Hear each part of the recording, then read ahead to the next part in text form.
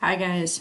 Welcome to your first asynchronous class. I don't know if there's going to be more, but there probably will be at some point. Uh, today, I just want to go over the agenda, what you're doing, the future, all the good stuff. So, for today, we're going to focus on cellular respiration. I know your notes were a doozy. You don't have to complain. I know they were long and they were quite technical and pretty challenging. And so, this class is strictly just like more practice with cellular respiration. I'm sorry there's not a more fun way to do this, but cellular respiration is just like not a fun topic. It's just like you gotta learn it and you learn it through memorization and you learn it through continuously practicing with the words and the vocab and the process between all of the steps. So that's pretty much what today is going to be. Uh, there's a three part assignment in classroom that I'm going to go over in a second. Before I do that, I just want to quickly go through uh, the next couple of weeks with you so you are aware that you have a test coming up. So today is all about cellular respiration. Next class is all about fermentation. Fermentation is anaerobic cellular respiration, and the most obvious ways that we do anaerobic respiration is through food and drink.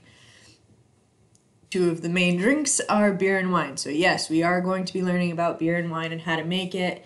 We are not going to be making it, of course, because you are all sweet little angels that probably have never even seen beer or wine before in your life, if I had to make a guess. Um, and then we're going to learn about cheese and yogurt and yeast and bacteria and all that good stuff.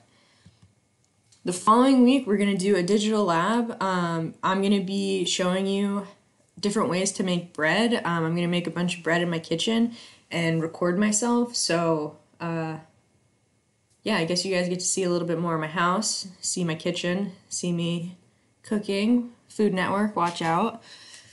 Um, and then the end of next week, we're going to have a review day, which can only mean one thing on October 6th, well, for you guys, it'll be October 7th. October 7th is going to be your Unit 1 test. Um, excuse me. Your Unit 1 test is basically everything we will have done up until then. There's going to be a study guide provided. I will probably post the study guide on Friday so I can go over a little bit with you, but just FYI. Unit 1 test coming up. Okay, now for today, you have this is my third period, so sorry, I'm recording this on Tuesday, not Wednesday. So for today, you have your aerobic cellular respiration review. There are four items within this. One of them is just a PDF, and then the rest of them are actual assignments that you have to do. So just quickly going through it, the PDF is like a stations activity. So each page is a station, and you're just gonna like read quickly the station and then answer the questions. The questions that go with it are called Cellular Respiration Stations student handout. And there's not a lot of questions per station, but just be aware that there are questions for every station. So, station one, two, three, and some of them are combined, right? Stations four and five. So, just be aware that sometimes your questions uh, span over two of the PDF pages, sometimes it's only one. So, just be thoughtful in your when you're going through this. Once you finish the stations handout, the next piece is uh, a video and questions. It's all the same information. I'm just hoping that throwing it all at you in different mediums like stations, notes, a video, a concept map is just going to help you remember it. So, this is a crash course uh, video. I know that he talks fast in crash course videos. You can always slow it down or you can look at the transcript to try and get this information.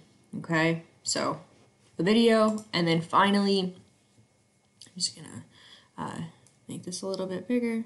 Finally is a concept map or a graphic organizer. So basically what this is, is all of these blanks in here, all of these words match up to that.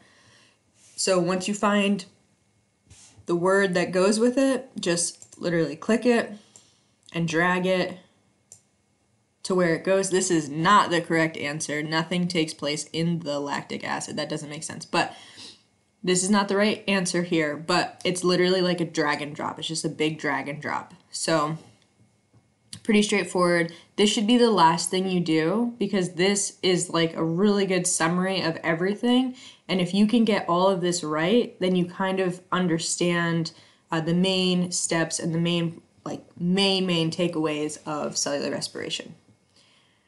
Okay, so that's for today. All of this is going to be due uh, at the end of the day on Friday. So you have Wednesday, which is to the day that you're listening to this video, uh, to work on this. And then we're not going to work on it in class, but you can work on it after class on Friday or whenever you have free time. It will be due Friday evening.